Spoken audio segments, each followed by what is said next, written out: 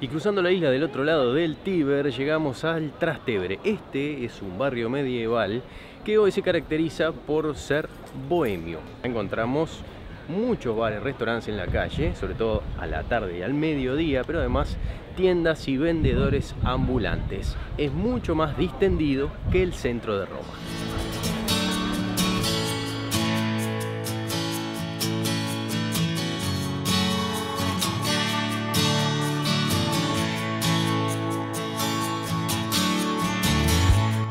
Y en Italia me recomendaron un lugar para probar los mejores embutidos. Vamos a ver si es cierto.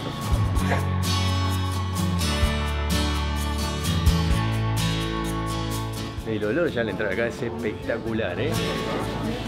Vamos a ver si está realmente bueno.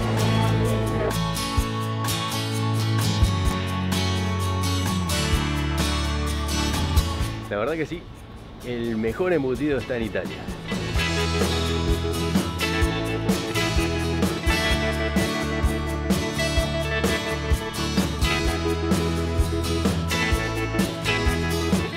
Cuando estamos en una ciudad que no conocemos hay que saber cómo movernos. En Roma en Italia, por ejemplo, el transporte público es eficiente y las paradas dicen exactamente a qué hora llegan los buses. El tema es que los billetes no se compran en el autobús, hay que comprarlos afuera, por lo tanto eso es un inconveniente. Mucha gente se sube sin pagar porque hay poco control, pero la multa es grande. Otra opción son los taxis. El tema es que los taxis generalmente con los turistas no son muy honestos. Otra opción son las compañías de pago, pero en Roma es mucho más caro, una vez y media o dos veces el valor de un taxi.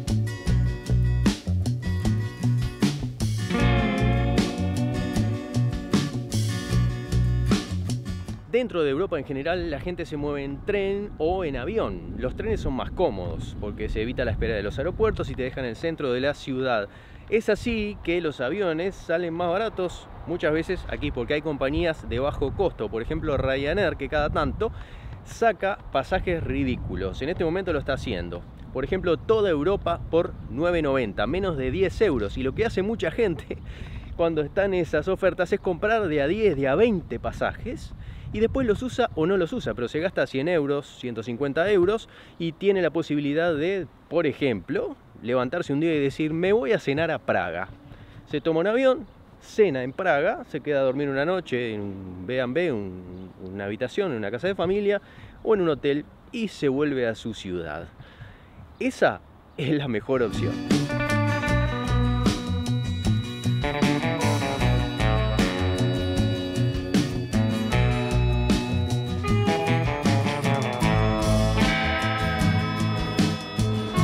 Estamos subiendo a una de las alturas de Roma, una de las colinas.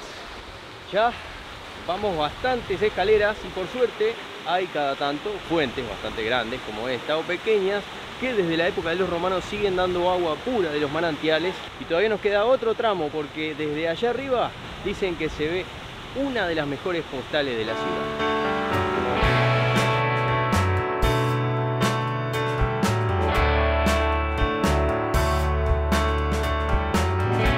En esta colina hay una enorme estatua de Garibaldi, porque en el año 1849 se declaró la República Romana y Garibaldi fue uno de los principales líderes, pero además, como la República duró poco porque la atacaron los franceses, este fue el último punto en donde Garibaldi defendió a Roma del ataque francés.